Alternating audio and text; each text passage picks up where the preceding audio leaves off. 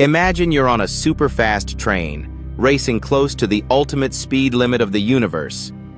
As your velocity increases, something astonishing happens. Time itself begins to slow down for you compared to those standing still. This phenomenon, known as time dilation, was predicted by Einstein's theory of relativity and challenges our everyday understanding of time. It means that if you journeyed away at near light speed and then returned, you'd find that more time has passed for everyone else than for you. This isn't just theoretical. Ultra-precise atomic clocks flown on jets and satellites have confirmed it. Even astronauts aboard the International Space Station experience a tiny bit of this effect, aging a fraction of a second less than people on Earth. The faster you move, the stronger the effect becomes.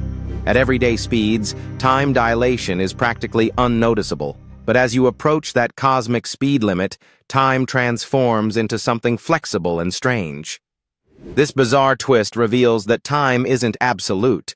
It's intimately connected to how fast you're moving through the universe, forever altering our perception of reality.